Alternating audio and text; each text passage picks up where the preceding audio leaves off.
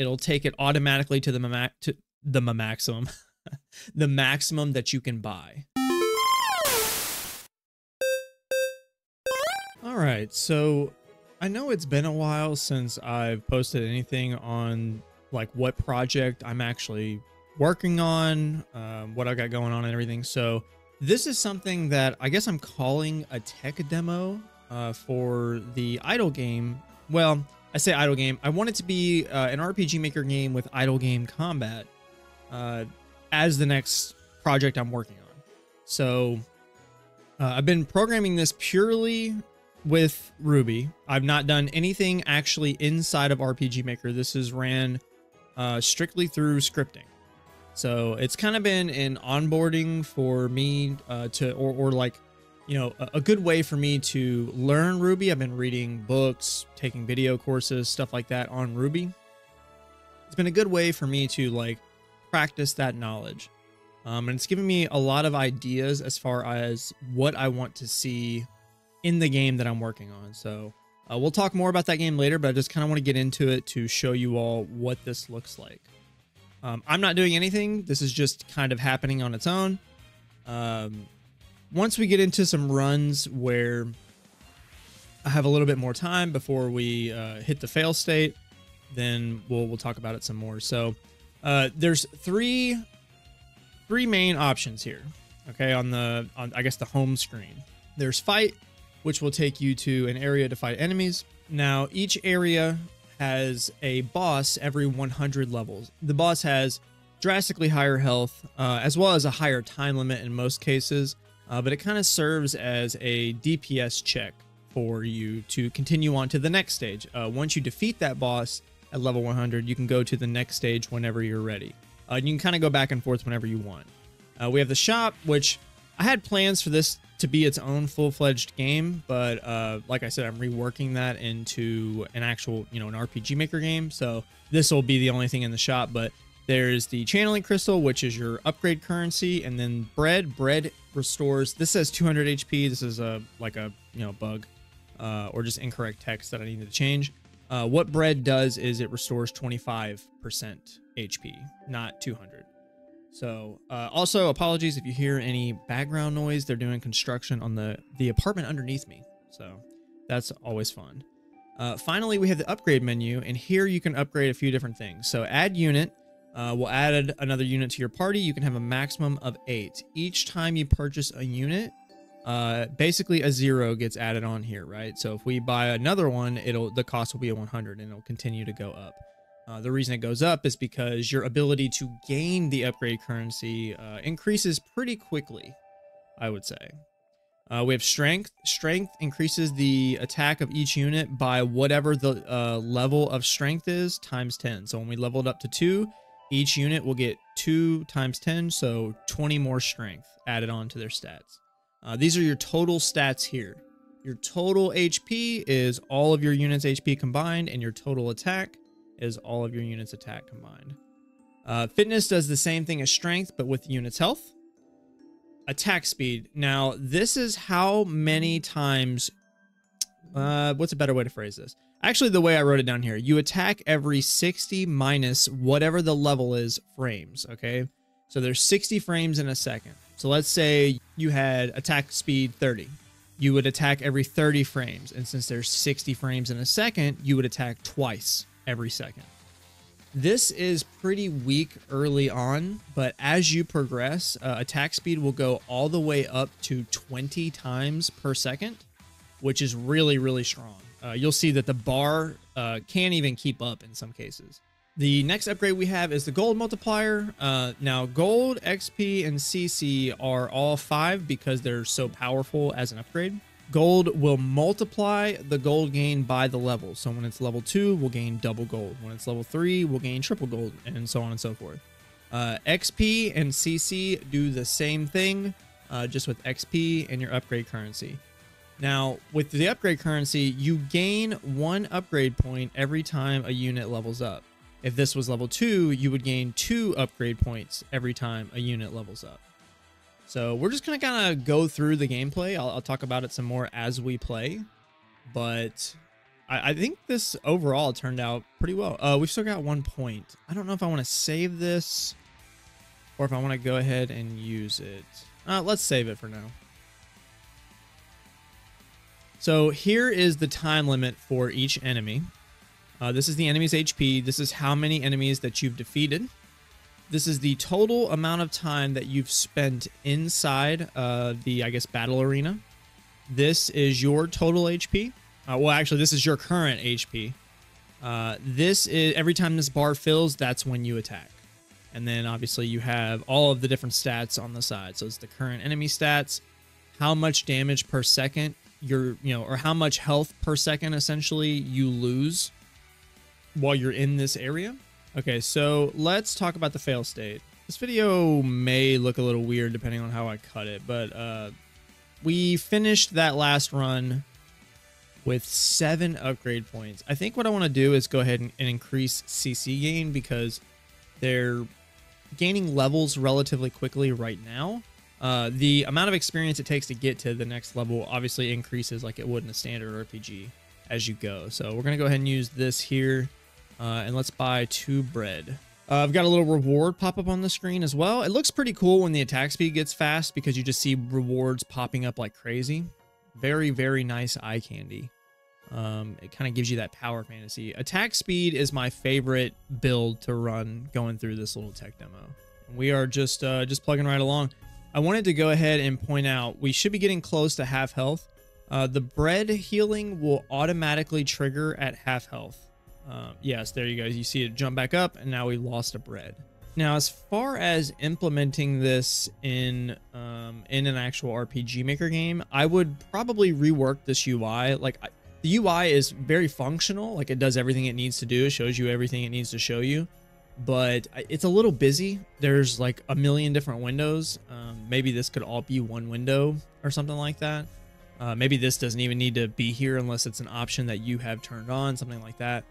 Uh, but if I were to, and I am uh, planning on redoing this for an RPG Maker game, this UI would look pretty drastically different.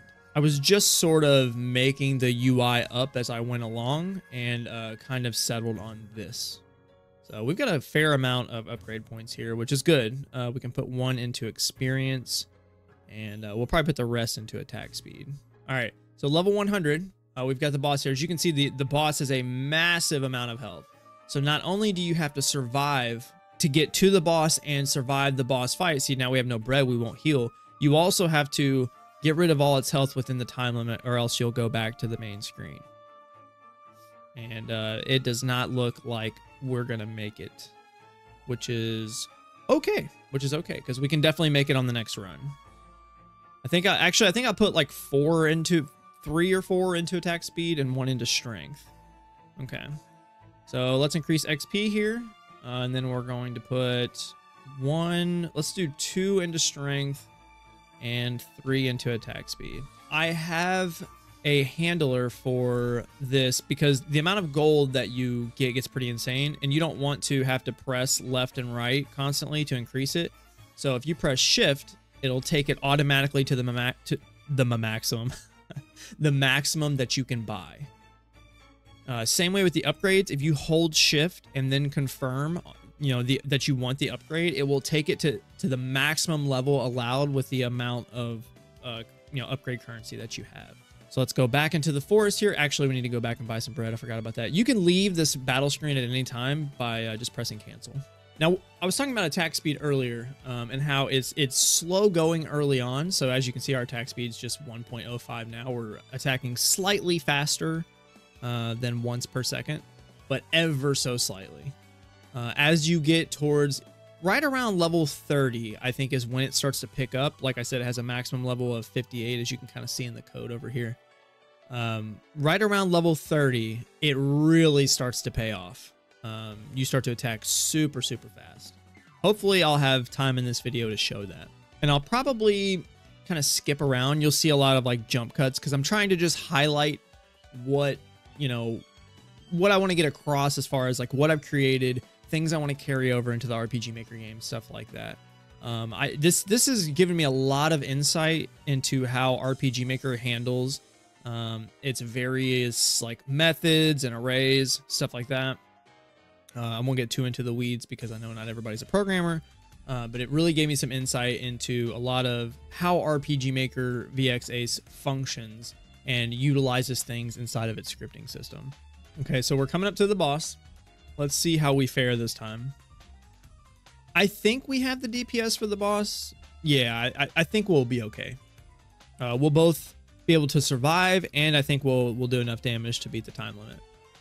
And then we can go on to the second area. However, uh, depending on how you build, you'll probably uh, you might have to grind in this area just a bit before moving on to the second area. The second area has some enemies with some really high uh, HP values and the DPS I believe is 75. So you're taking 75 damage per second, which is a lot. Uh, so yeah, we beat the boss. There's no like background sound or anything. The only uh, music, well, it's not music. The only sound at all is when you try to purchase something that you cannot afford. Uh, I don't, you, you, guys probably aren't hearing this, but uh, there's a, a buzzer sound happening. Uh-oh. Well, that would seem like a bug. Yeah, it seems like we've caused uh, some sort of issue there. So I'll probably just do a quick run through again. Um, probably keep like the same stat distribution and stuff, and then I'll cut to the. As that is some sort of bug. Uh, I, I, probably need to go ahead and say that you know I'm going to put this up on an itch page for you all to download and check out if you want to. But I, am pretty much just calling it quits at this point. I wouldn't say that this is a, a complete demo or anything. You're gonna you're probably gonna find bugs. Uh, I actually didn't even know that that bug existed, but uh, you, you might find bugs here and there, but for the most part, it should function well as long as you kind of just, you know, play it as you would expect. Okay, so I have grinded to the point again uh, where we beat the boss and we've unlocked the second area. I didn't want to do too much else um, without kind of talking to you all about uh, or, or being able to show you all how difficult the dirt cave is. So let's just go in. And as you can see, the HP has jumped from like 72 being the highest in the previous area to 17, you know, 18,000, I'm sorry. So you can see our HP just plummeting. So let's go ahead and uh, let's get another experience multiplier in here. Uh, this is a slightly different build than I had last time. And then we'll do one into attack speed. And then we'll just grind a little bit in the previous area. And then I'll probably jump back once, uh, once we get done grinding.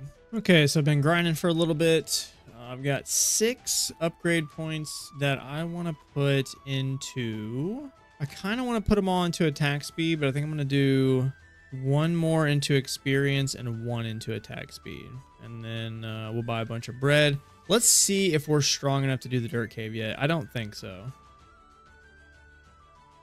No, no, we're definitely not. So I'm going to grind a little bit more and then we'll cut once again.